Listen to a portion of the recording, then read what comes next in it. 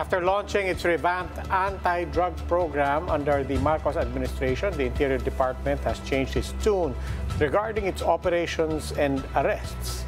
The DILG said that while rehabilitation will be a focus of the administration, anti-drug operations and arrests of drug offenders will quote, continue with the same fervor. Camille Samonte with the big story. Intensifying drug war but taking into consideration human rights. This was the stand of the Marcos administration. According to Interior Secretary Benhur Abalos, the DILG on Saturday launched its revamped anti-drug campaign called Buhay Ingatan, Droga'y Ayawan or BIDA. But while there will be changes to the program, the DILG said that anti-illegal drug operations and arrest of drug offenders will, quote, continue with the same fervor. Under the revamped anti-drug campaign, a whole nation approach will be conducted. That means the PNP will join forces, local government units, and other sectors in society. If we have the whole of the nation approach in ending the local communist armed conflict, we're going to apply the same strategy. Um, uh, kaya sabi namin sa ating mga kapulisan that uh, we have to stop owning the problem because the problem cannot be solved alone by us. Speaking on One Balita Weekend, Abalos vowed that there would be no let-up in anti-illegal drug raids and operations by law enforcement units. Authorities reportedly caught several big-time drug dealers since President Bongbong Marcos sat into office.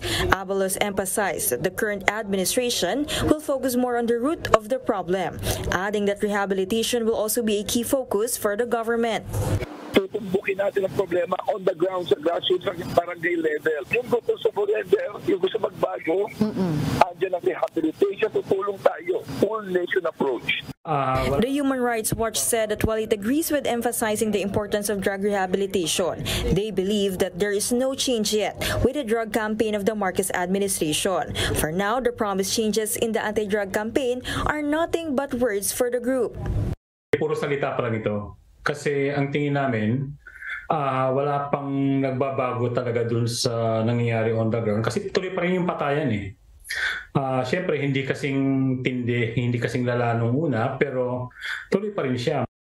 Despite the new approach, the Human Rights Watch also insisted that those who died in the alleged extrajudicial killings under the Duterte admin should not be forgotten. For News 5, Camille Samonte, We Are One News.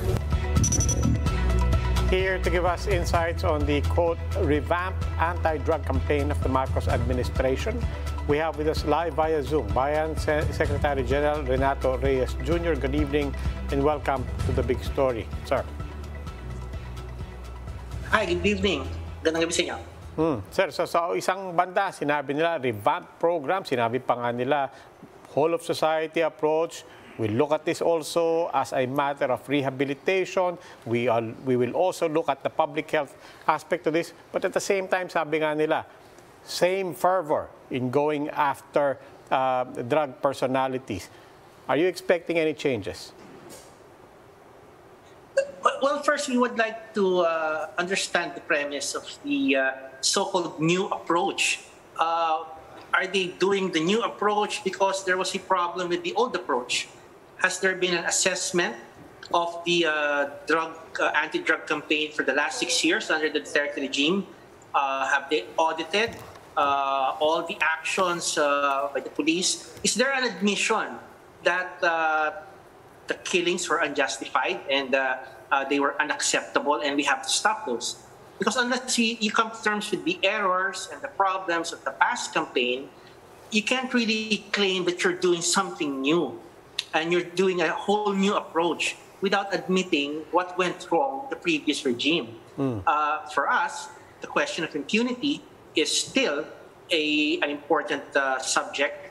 Uh, the United Nations, the Human Rights Council of the UN, took note of the lack of um, meaningful accountability in uh, achieving justice for the victims of the drug war. And uh, we do not find any clear indication uh, with the statements of those you interviewed earlier uh, if there will be accountability for all the past uh, violations the- during the past six years. So, paano yun? Anong gagawin ng administration uh, dun sa mga naging problema? Tapos, dito sa bagong approach, uh, ano nga ba talaga ang bago kung hindi naman nila matuntungan yung mga uh, criticisms ng nakaraang programa. So maraming dapat silang sagutin. Hindi po po pwedeng idaan lang tayo sa mga fancy post-nation approach which is also the same uh, philosophy used by the NTF-LCAP and we know na problematic yung ginagawa nila. Hindi po pwedeng uh, you just mouth these words tapos wala kang malinaw or clear assessment of when, what, what, what went wrong in the past administration. Okay, uh, the PNP is fronting these numbers 46 drug suspects killed as compared to the Duterte admin's thousands uh, killed during uh, the first year of, of his term. Um, your thoughts on that and also the focus on reducing demand as opposed to, you know, looking at both supply and demand um, situations of the drug war? Well, uh, in, in the matter of uh, is there uh, less killings, maybe so. But again, are the killings justified to begin with? Uh, will there be accountability if these are investigated and proven to be extrajudicial killings? Uh, number two, uh, we still maintain that you have to look at the drug problem not just as a criminal justice issue, but also as a health issue. In other countries, uh, hindi patayan ang first uh, response, no? At hindi kulong ang uh, first response. And sana, uh, kung, kung interesado talaga yung administration na to to address the problem, uh, why not increase the health budget? Why not develop the health system?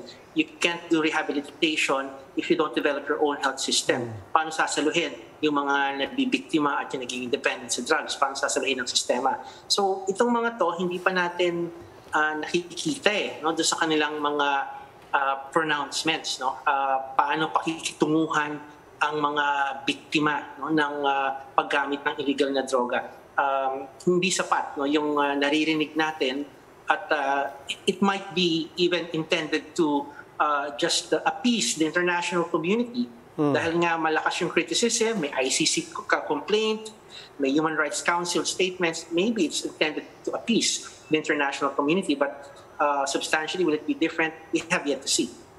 Uh, you, you mentioned the matter of accountability and impunity. Do you think it's possible? Is there any scenario um, where the government can address the demand side uh, problem, provide the rehabilitation, give it the attack from a public health lens, as they say, and then at the same time, basically just walk away from questions of how the drug war has been waged um, in the past and basically leave that, leave that behind.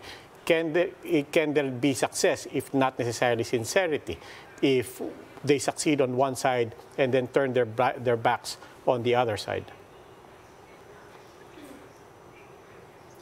I, I, I really doubt there will be success if we just uh, sweep the abuses of the past under the rug.